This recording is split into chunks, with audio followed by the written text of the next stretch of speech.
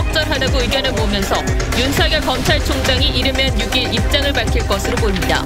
추미애 장관은 검사장들에게 흔들리지 말자며 검찰 개혁을 재차 강조했습니다. 전국 검사장 회의의 막전 막후 자세히 알아봅니다.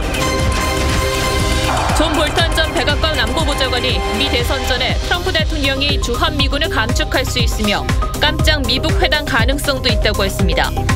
북한 최선희 외무성 부상은 미국과 마주 앉을 필요가 없다며 회담 가능성을 일축했습니다. 고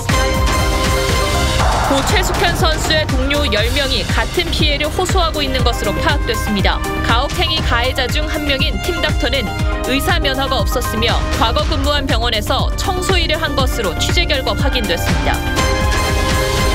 골프장에서 첫 코로나 감염 사례가 나오는 등 확산세가 지속되고 있습니다.